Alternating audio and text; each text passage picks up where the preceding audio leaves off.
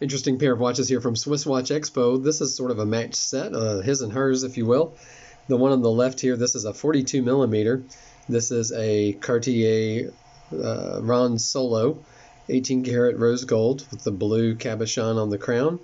It has the stainless steel case back, which makes it the Solo, and it has the opaline dial.